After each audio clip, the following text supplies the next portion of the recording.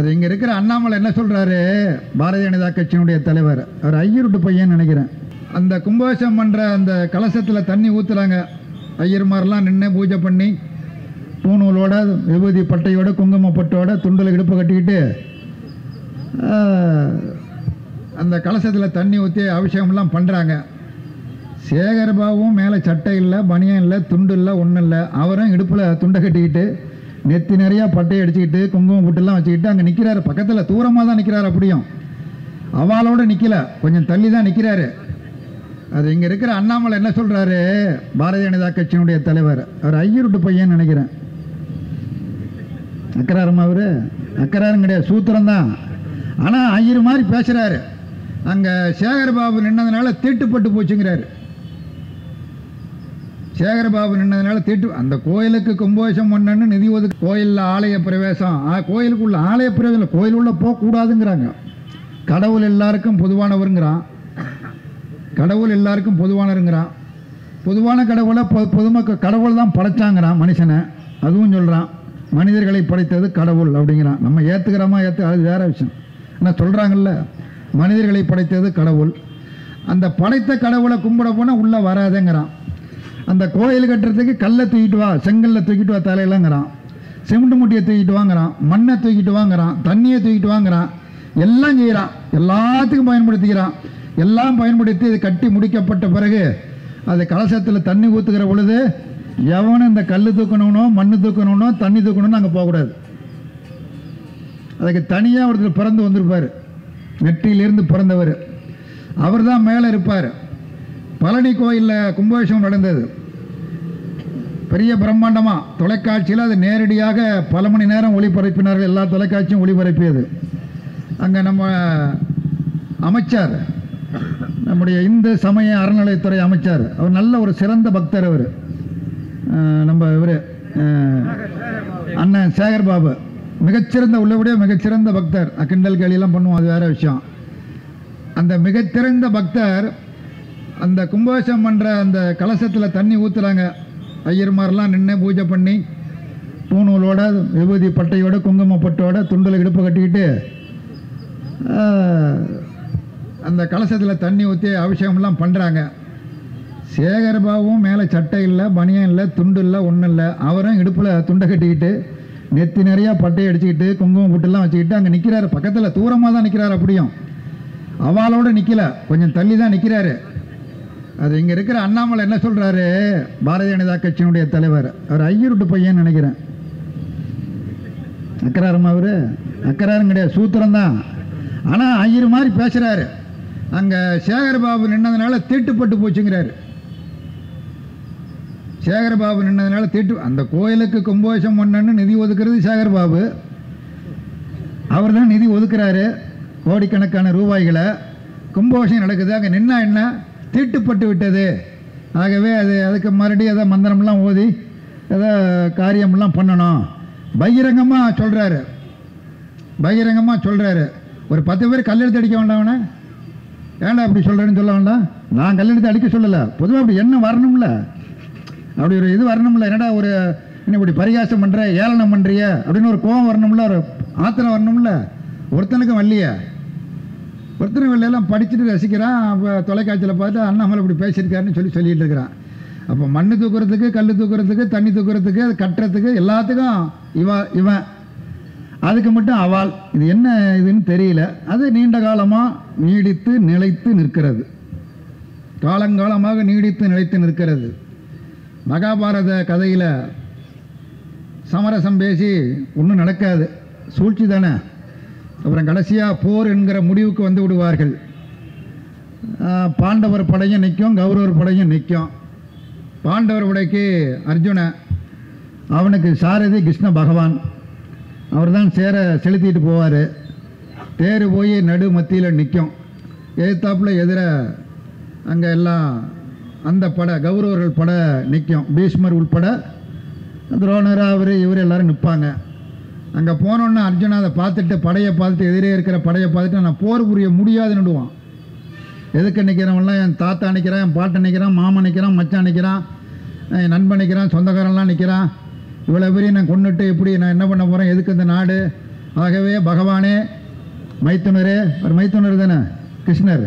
நான் போர் புரிய மாட்டேன் அப்படின்னு வெளில போட்டுருவான் அப்புறம் அதுக்கு விளக்கம்லாம் சொல்லுவான். நம்ம கிருஷ்ண பகவான் விளக்கம்லாம் சொல்லி இல்லைப்பா அப்படி இப்படிம்பாரு காரணமெல்லாம் கேட்டான். ஒவ்வொரு காரணமாக சொல்லுவான். அர்ஜுனை ஒவ்வொரு போர் புரியாததற்கான காரணங்களை வரிசைப்படுத்தி சொல்லுவான். கடைசி காரணம் தான் ரொம்ப முக்கியமான காரணம். அந்த கடைசி காரணத்தை ரொம்ப தெக்கடித்தனமாக மகாபாரதத்தில் மறைச்சு மறைச்சு எழுதிடணும் ராஜாஜியும் ஒரு மகாபாரதம் எழுதி கொடுத்துருக்காரு. என் வாழ்க்கையிலேயே மிகப்பெரிய பாக்கியம் இதுதான் அப்படின்னு சொல்லியிருக்கிறார். அதில் இல்லை. வேற ஒரு முழு மகாபாரதத்தில் ஒரு பக்கம் சமஸ்கிருதம் ஒரு பக்கம் தமிழாக்கம் செய்யப்பட்ட சமயத்தில் அப்படியே இது இருக்குது. கடைசியார் என்ன சொல்கிற காரணம் அர்ஜுன? இந்த போர் நடந்தால் ஏராளமான ஆடவர்கள் செத்து மடிவார்கள். அப்படி ஏராளமான ஆடவர்கள் செத்து மடிந்தால் ஏராளமான பெண்கள் விதவையாவார்கள். ஏராளமான பெண்கள் விதவையானால் தவறுகள் நடக்கும். தவறுகள் நடந்தால் ஆண்டவன் படைப்பிற்கு விரோதமாக கலப்பு ஏற்பட்டு போயிடும். நான்கு வருணத்திற்கு எதிராக கலப்பு ஏற்பட்டு குழந்தைகளை பிறக்குங்கிறான். எதை இப்போ ஆணவ கொலை பண்ணுறான்னு நினைக்காதீங்க. அப்பயே ஆரம்பிச்சது தான் மகாபாரத கதையிலே கதையிலேயே. அவன் கவலைப்படுறது எதுக்கு?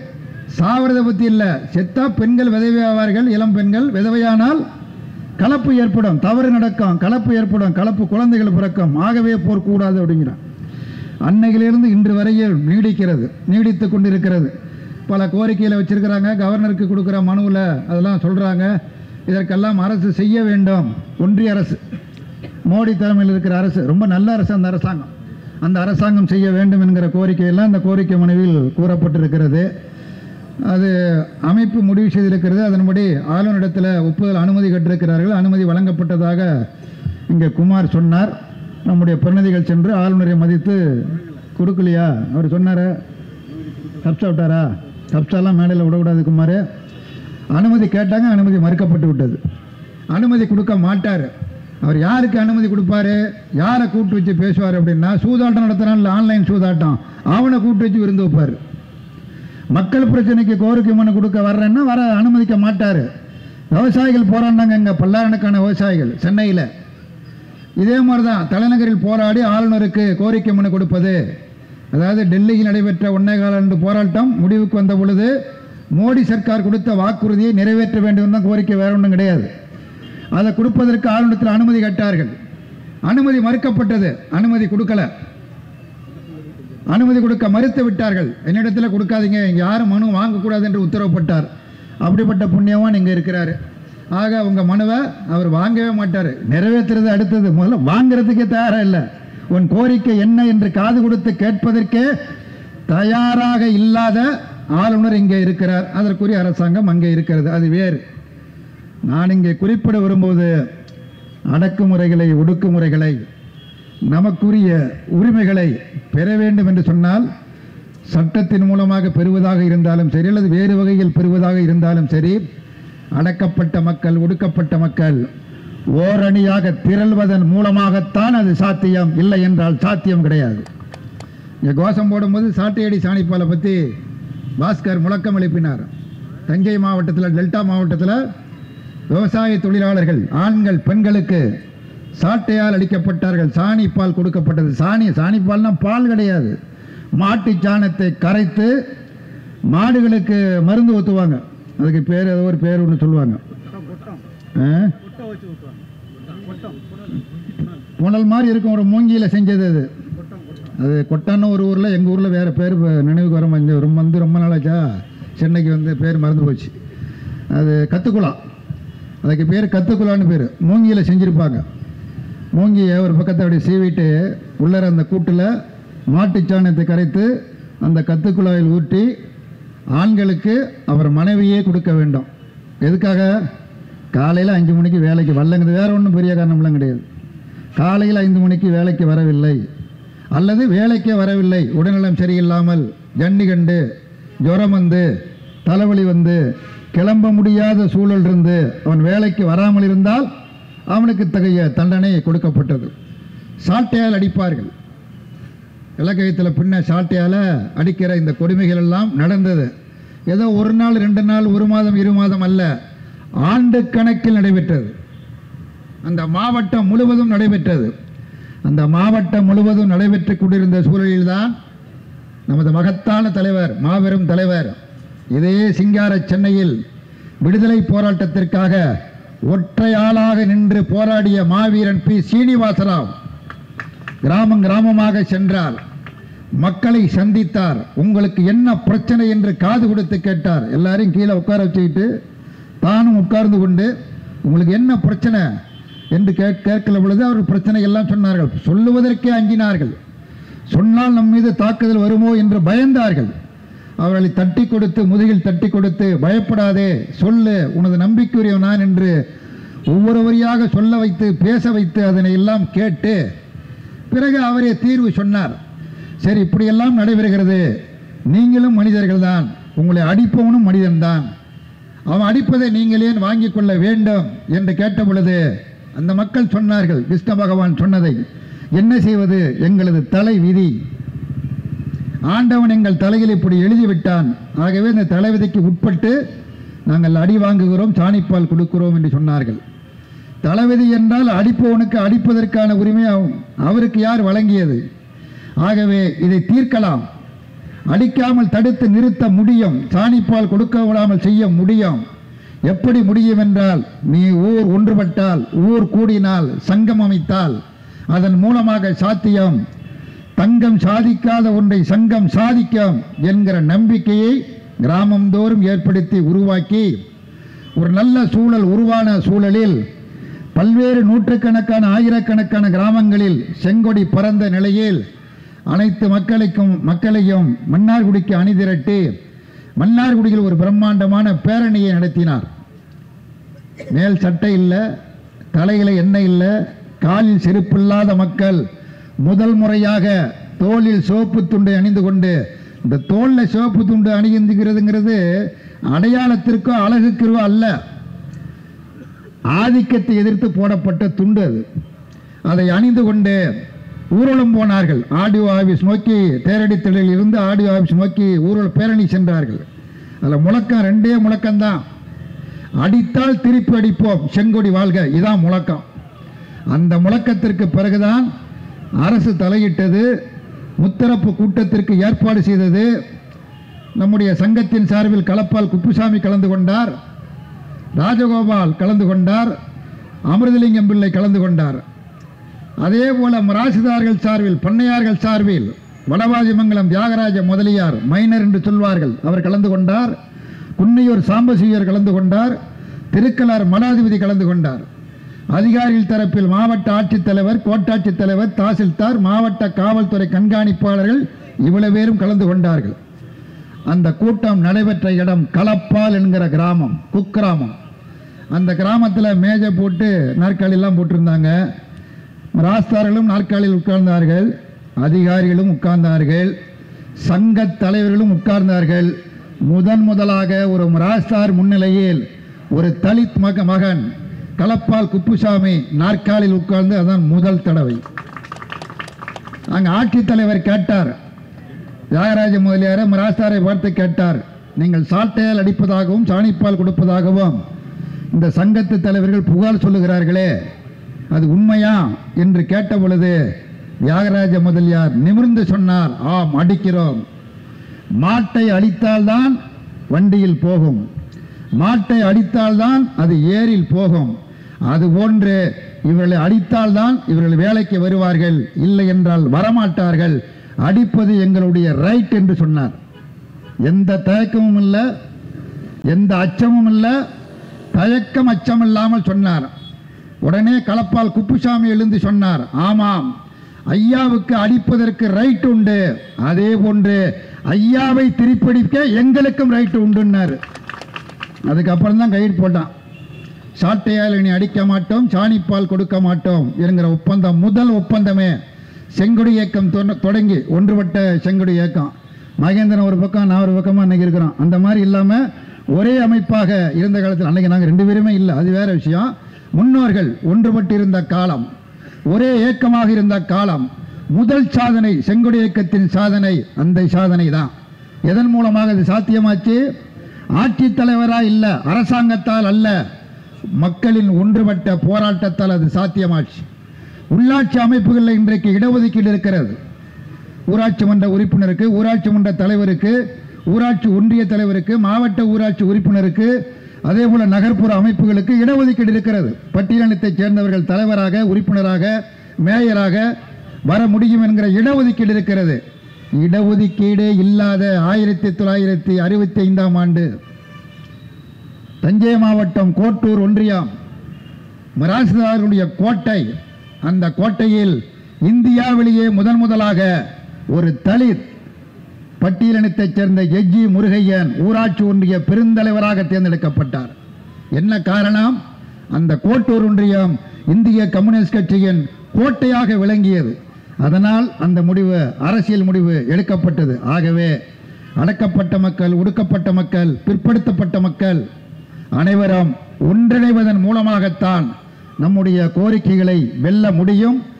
சமூகத்தில் மிகவும் பின்தங்கிய பகுதி பட்டியலின மக்கள் கல்வி பொருளாதாரம் சமூக அடக்குமுறை என எதனை எடுத்துக்கொண்டாலும் பின்தங்கிய பகுதியினர். அதேபோல் பழங்குடி மக்கள் இவர்களுடைய வாழ்க்கையில் மாற்றம் ஏற்பட வேண்டும் என்பதற்காக ஒன்றிய அரசு மாநில அரசு இவைகளெல்லாம் பல நிதிகளை எல்லாம் ஒதுக்குகிறார்கள். அவைகள் கூட முறையாக அந்த மக்களுக்கு சென்றடைவதில்லை. பயன்படுத்தவில்லை செலவழிக்கவில்லை திருப்பி அனுப்பப்படுகிறது என்பது என்பதையெல்லாம் இங்கே லிங்கம் அவர்கள் குறிப்பிட்டார்கள். இன்றைக்கு நம்முடைய மாமேதை மார்ச்சருடைய நினைவு நாள். உலகம் முழுவதும் இருக்கிற உழைப்பாளி மக்கள் கருத்தால் கரத்தால் உழைக்கக்கூடிய மக்கள் ஒன்று திரண்டு அந்த மா மேதைக்கு தங்களது அஞ்சலியை வீர வணக்கத்தை தெரிவித்துக் கொண்டிருக்கிறார்கள். நம்முடைய மாநில அலுவலகத்திலும் காலையில் மால்சருடைய திருவுருவப் படத்திற்கு வீர வணக்கம் செலுத்திவிட்டுத்தான் இங்கே இணையமாக பெரும்பதி இங்கே வந்திருக்கிறோம். மார்சனுடைய அந்த மகத்தான தத்துவம் வெள்ளற்கரிய தத்துவம் என உலகம் போற்றுகிறது. ஏதோ கம்யூனிஸ்ட் இயக்கத்தில் உள்ளவர்கள் மட்டுமல்ல இந்த இயக்கத்திற்கு வெளியில் இருப்பவர்களும் பல்வேறு கொள்கைகளை சார்ந்தவர்களும் பல அரசியல் கட்சிகளை அல்லது அமைப்புகளை பின்பற்றுபவர்களும் மார்க்சை நிராகரிக்க முடியவில்லை. அதற்கு மாறாக மார்க்ஸ் இல்லாமல் உலகம் இல்லை என்று சொல்லுகிறார்கள். கவி பேரரசு வைரமுத்து அவர்கள் குறிப்பிடுகிற பொழுது மின்சாரம் இல்லாமல் உலகம் இல்லை மார்க்ஸ் இல்லாமலும் உலகம் இல்லை என்று அவருடைய கவிதையில் குறிப்பிடுகிறார். அந்த அளவிற்கு ஒரு மகத்தான தத்துவத்தை இந்த உலகிற்கு அவர் வழங்கியிருக்கிறார். ஒரு நாட்டிற்கல்ல ஒரு குறிப்பிட்ட மக்களுக்கல்ல உலகத்திற்கே வழங்கியிருக்கிறார். உலகம் முழுவதிலும் இருக்கிற உழைப்பாளி மக்களுக்கு வழங்கியிருக்கிறார். நாம் வேலை நேரம் பற்றியெல்லாம் ஏற்கனவே போராட்டங்கள் நடத்தி இருக்கிறோம். மேதின விழாவை கொண்டாடுகிறோம். அந்த மேதின விழாவை கொண்டாடுங்கள். உலகம் முழுவதும் இருக்கிற தொழிலாளர்கள் கொண்டாடுங்கள். மே முதல் நாளில் என்று அறைகோல் விடுத்தவரே மாமேதை மார்ச் தான் அவருடைய அறைகூவலை ஏற்றுத்தான் அந்த நாளிலிருந்து இன்று வரையில் நாம் அந்த மேதின விழாவை கொண்டாடி இருக்கிறோம் நம்முடைய ஆசியாவிலேயே முதன்முறையாக மேதின விழாவை கொண்டாடியவர் நம்முடைய சிந்தனை சிற்பி சிங்காரவேலர். இதே சென்னையில் தான் கொண்டாடினார். ஏன் அந்த மேதனத்தை கொண்டாடினார்கள் என்று? எட்டு மணி நேரம் வேலை எட்டு மணி நேரம் ஓய்வு எட்டு மணி நேரம் உறக்கம் என்று இருபத்தி நான்கு மணி நேரத்தை மூன்றாக வகுக்கப்பட்டு தொழிலாளர்களுக்கு வேலை வழங்கப்பட வேண்டும் என்கிற கோரிக்கை வைத்தார்கள் என்று சொன்னால் பல மணி நேரம் வேலை வாங்கினார்கள். விழிந்ததிலிருந்து இரவு வரை வேலை வாங்கினார்கள். இருபத்தி நான்கு மணி நேரம் வேலை செய்ய பணிக்கப்பட்டார்கள் நிர்பந்திக்கப்பட்டார்கள் கட்டாயப்படுத்தப்பட்டார்கள். அதை எதிர்த்து நடைபெற்ற போராட்டம். அதனுடைய விளைவாக பலர் மீது அமைதியாக நடந்த போராட்டம் மிகுந்த அமைதியாக ஜனநாயக முறைக்கு உட்பட்டு நடைபெற்ற ஒரு எழுச்சியான பேரணி. அந்த பேரணியில் கலந்து கொண்டவர்கள் மீது அரசு சிக்காகோ நகரத்தில் நடைபெற்ற அந்த பேரணியை தலைமை தாங்கி நடத்தியவர்கள் மீது பொய்யான வழக்கு தொடுத்து அவர்களுக்கெல்லாம் தூக்கு தண்டனை வழங்கப்பட்டது. ஆகவே அப்படி ஒரு எழுச்சியோடு நடைபெற்ற அந்த நாளைத்தான் மேதின விழாவை கொண்டாடச் சொல்லி மார் சொன்னார். நமக்கு அந்த உரிமைகளை சிக்காகோ நகரத்தில் இருந்து உலகம் முழுவதும் இருக்கக்கூடிய தொழிலாளர்கள் பெற்றார்கள். இன்றைய நிலைமை என்ன? பழையபடி மீண்டும். எந்த மணியும் பொழுது கிடையாது. நீ வீட்டில் இருந்தே வேலை செய்து கொள்ளலாம். நேரம் உண்டா? நேரமெல்லாம் கிடையாது. பன்னிரெண்டு மணி நேரம் பதினான்கு மணி நேரம் வேலை செய்து கொண்டிருக்க. இதெல்லாம் இன்றைக்கு இருக்கக்கூடிய பிரச்சனைகள் பல்வேறு பிரச்சனைகள் தொடர்ந்து நடைபெறுகிறது. அதே மாதிரி அடக்குமுறை கொடுமைகள் நம்முடைய அரசியலமைப்பு சட்டம் மிக மேலான சட்டம் மிகச்சிறப்பான சட்டம். அதில் எந்த ஐயப்பாடும் கிடையாது. அதற்கு நாம் தலை வணங்குகிறோம்.